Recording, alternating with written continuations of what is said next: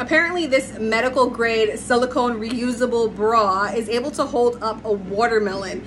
That is quite the claim, so let's try it out. This is what the bra looks like. This is how you're supposed to apply. You kind of put it on one side and then do one of these, scoop it over. Let's let's do the before and after. This is what I look like before. Let's and this is after i mean it's giving me a ton of cleavage. Definitely giving me a lift as well which is super surprising seeing as how it's completely backless perfect for like a special occasion dress wedding baby shower.